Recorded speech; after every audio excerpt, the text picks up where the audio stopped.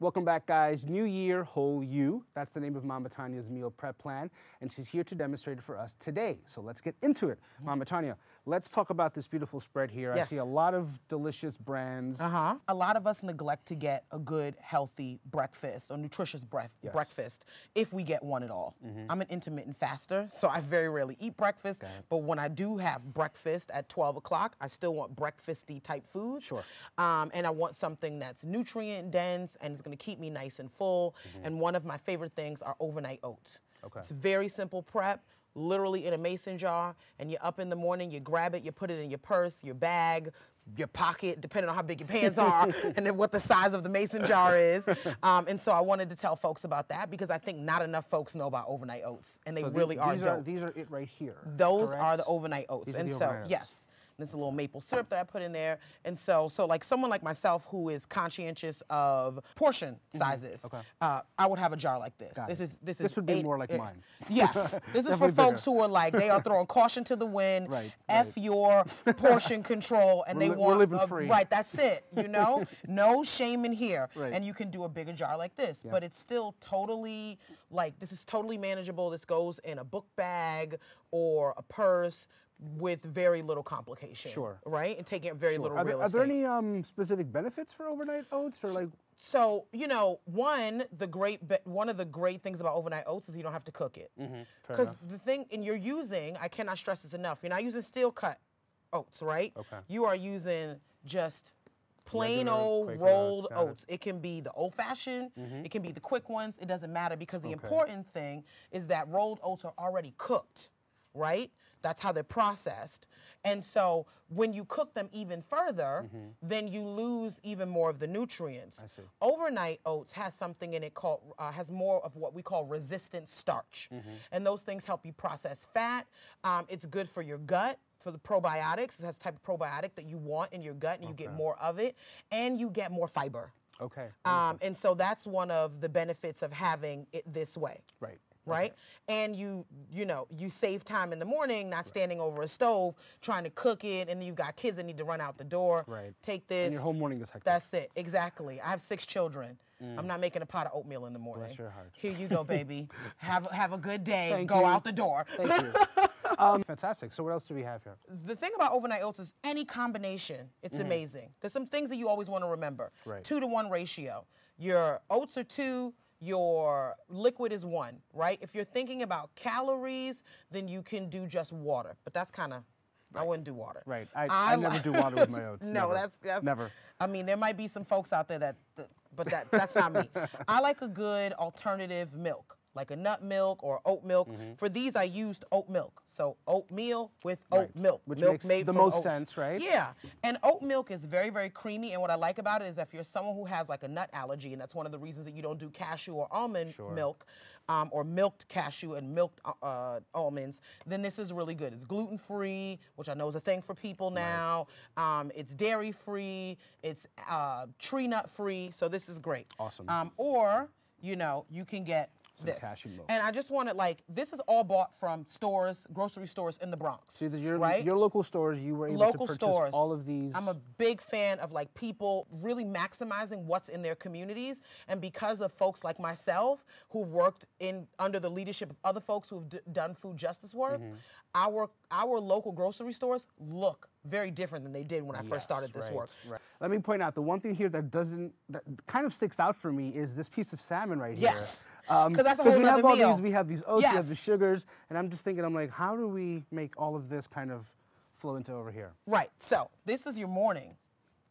This is your evening or your afternoon, right? This is what you're taking for lunch or this is what you're coming home to. Okay. Again, I like to put a lot of emphasis, particularly on people who are working a lot. And Mm-hmm. we know in a community like the Bronx, right, there's all this concentration of people who are professionals. We've got people here in our community who are working non-traditional hours. Time really is money. They have less time. They're making less money, right? And so we want to keep it simple, right? K-I-S-S. Keep it simple, silly. Um, um, one of my favorite lettuces, arugula. Now, I will I will lead with it ain't for everybody. it has a very peppery, sharp taste. Yes, so you can do a does. mesclun, you can do a spring mix, you can do a baby spinach. I just really want to emphasize to people, let's just drop the romaine in the iceberg. It has- Iceberg, yeah, I agree with you with the iceberg. I think it's I think it's even time romaine. come. Romaine is good for a sandwich. a salad, unless it's a Caesar salad, let's start to get a little bit more adventurous. So many of our grocery stores are carrying a larger variety, and things like this have great. Uh, they have great calcium. Um, they have a little bit more protein than, let's say, an iceberg or a romaine. Not a ton, but a lot more. Arugula, I believe, per cup has two grams of protein. Wow, Right? okay. And your body loves protein. That's the building block. That's what it's going to use as fuel. I know a lot of folks love croutons. Croutons empty, simple carbs, right? Okay. Let's maximize what we got going. Walnuts. Walnuts, okay. Okay, it's a good source of fat, and our bodies need fat. Fat is not the enemy, depending on the source of it. Right. So you want to put some walnuts in there, and we also know that this is good for your skin and your hair. It's a heart, um, heart healthy Mm-hmm. food. Um, everything is always about moderation, though. Okay. Um, and stuff like this, like if you're gonna assemble it at work, Right. these these things, and I find them in the dollar store. These little containers are your meal prep best friend. Okay. Okay. So you want to throw that in there. I like to put a little cheese. The reason I love Parmesan cheese is that you get more bang for your buck, ca- caloric wise. Okay. It's low calorie, but it's got great taste. And I with that. actually prefer to shave my Parmesan like right before I get ready to Mm-hmm. use it.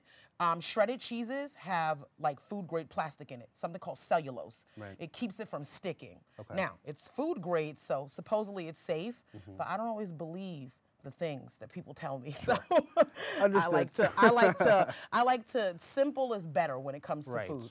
So. I shave you just want to shave a little bit of that in there. Okay? I think about an ounce of parmesan gives you about 60 calories. And you're not going to eat an ounce of parmesan. Sure. You just won't. Right. So I do want to I do want to let people know that um, you do have a Patreon. You do have cooking classes that people can access online. Yes, depending on the Um, tier that they are, you can get a one-on-one digital cooking class with me. I do this in my kitchen. My Mm-hmm. boyfriend and I, this is our idea of a, of a fun Saturday, to get in the kitchen and put these videos together. And so they'll have access to those as well. So we're doing we're doing salmon. We're doing we have the arugula here. And what else are we adding to this dish? Mm-hmm. I would then also maybe add some craisins. Also, if you have a nut allergy, a good alternative, seeds, right? Sunflower seeds, pepitas, pumpkin seeds. Yes. Yes. are great alternatives as well for Fantastic. people who have food allergies. I'd throw maybe some craisins in there, um, raisins for the Beckys. I don't know, whatever you know, whatever. Um, and then this Whatever is where right. This is where people go wrong. The dressing. Okay. I cannot stress to people enough. It is so easy to make your own dressing Mm. at home. It keeps for a while, so you can make a, this, you know, at the beginning of the week, and you've got dressing for like the next two weeks. Sure, right. This is yogurt based. Again, more protein, Mm. low calorie. You can use whole milk uh, yogurt or you can use low fat. I actually stay away from a lot of the low fat foods because of the way they're processed. Mm-hmm. And again, fat is not the enemy if you're doing it in moderation. So I use a whole fat um, yogurt, but that's only got like 60 calories per cup. Right. Right, So right. again, you're not going to have a cup of dressing. yeah, right. But a lot of much. dressing, if you look at it, you turn it in the store, it's got soybean oil, all kinds of stuff, lots and lots of sugar, and two tablespoons will be 120 calories. Wow. And full of sugar. It's not. It's not worth it. And some of them have an insane amount of sodium as well. A lot of sodium, right? sodium. This Yeah, is sure. strawberries, touch of olive oil, whole milk yogurt, a little bit of honey, lots of garlic, Mm-hmm. little sea salt, little pepper, and it is amazingly delicious. Wonderful. And so you're gonna put that on there, okay? So I'm assuming that salmon is going to be placed beautifully on top And then of this. yes, and then we're going to. And now clearly, this is not your whole lunch. I mean, for some people, it might be again. I mean, it's definitely my I don't. lunch. I don't judge you, right? But when you're thinking about portion size, you generally want a portion that's about the palm of your hand, okay. right? So that will probably be like the tail end of this. Sure. Put that right on there. Wonderful. So, guys, make sure you stay connected to Mama Tanya on Instagram at Mama Tanya's Kitchen and at the Black Feminist Project to find out how Mama Tanya is creating a nutritious online cooking show and how you can help her out. Check out the patreon.com slash Mama Tanya. Well, that's all for the show, guys. Thank you again for tuning in, and thank you to my guest today for joining us. Thank us you. today. Thank you so Mama much. Tanya. This is Foodie Down Bronx. I am your host, M, the Hungry Dominican, reminding you to feed your mind, feed your body, and if you see me coming along, feed me. Adios.